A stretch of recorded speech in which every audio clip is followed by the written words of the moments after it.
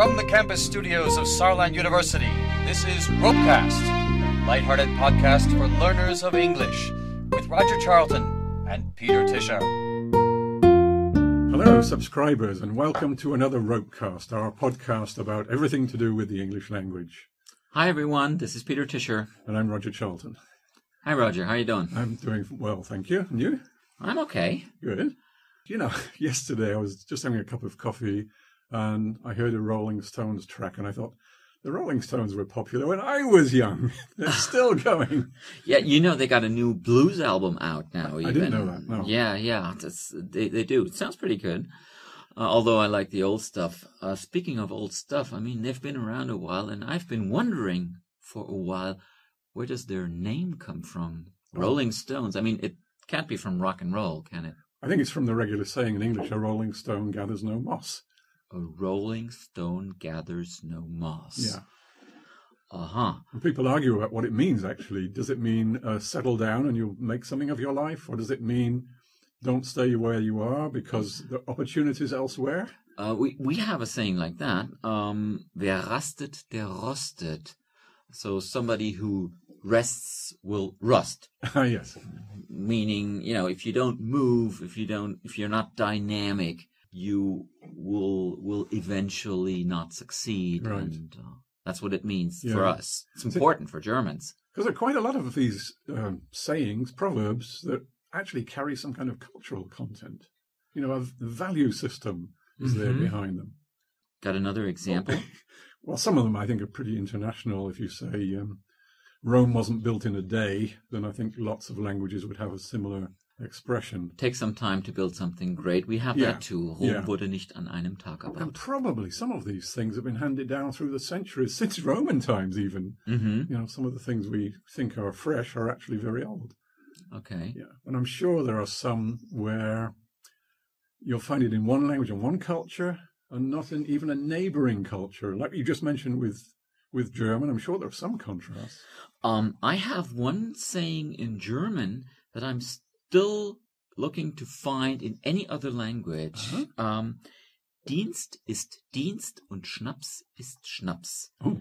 So, not very literally translated, work is work and a drink is a drink, meaning you should separate your workplace activities from your private activities. Ah, yes. Now that really is very German. I think so too, and I have not heard that in any language that I know. Uh-huh. Okay, I'm, I don't speak 20 languages, but I've been asking around. I don't know it in English, I don't know anything in French, nothing. Let's see if any of our listeners can come up with something for us. Yeah, I'm, I'm still looking for that. But do you have anything in English where you would say, I haven't heard that in very many other languages? I think um, a very, very British one would be good fences make good neighbours.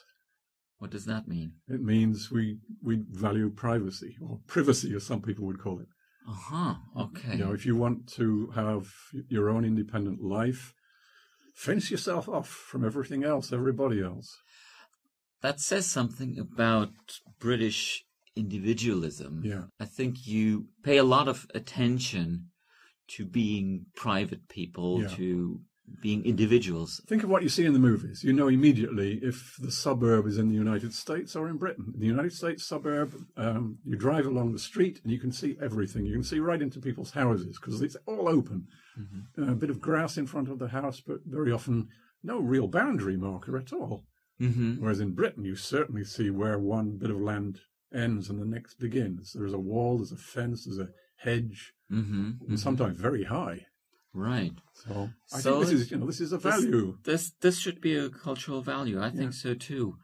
There may be others. One thing I keep thinking about, speaking of America, one you hear very often about an apple a day keeps the doctor away. Yeah, we have that.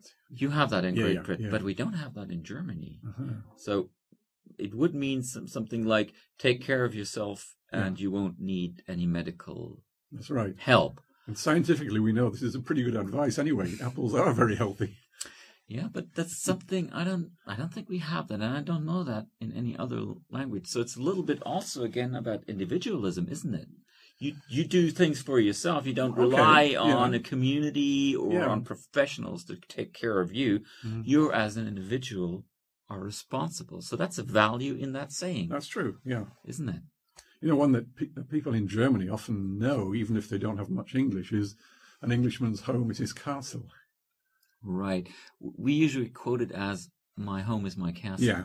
Uh-huh. Yeah. So the variations on that, and that too says something about not only what British people might think, but also what people from outside think the British are like. hmm You know, however humble your origins, however humble your place of residence, house, flat, etc. hmm Um, this is mine. This is you know, part of my identity. Right. So these sayings are not um they are not innocent, are they? No, no, no. They express something. I just thought of another thing. I mean, though we've got the same value, we would say in English, the grass is always greener on the other side of the fence. You know, people are envious of their neighbors. And in German, of course, you mentioned cherries in the neighbor's garden. It's not not the Mhm. grass because you know we have lawns in Britain, so everyone Mhm. has grass. Right. And you can grow cherries here because the climate is a little bit more favorable. yeah, I admit. so these can be revealing in different ways. we ought to talk some more about that. Yeah. Um let's put that off to the next podcast. Let's How about that. that? Yeah.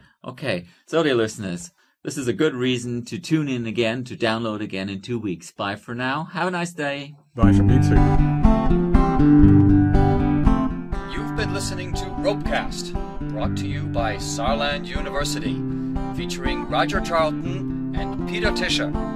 Tune in for the next edifying episode on your podcast dial.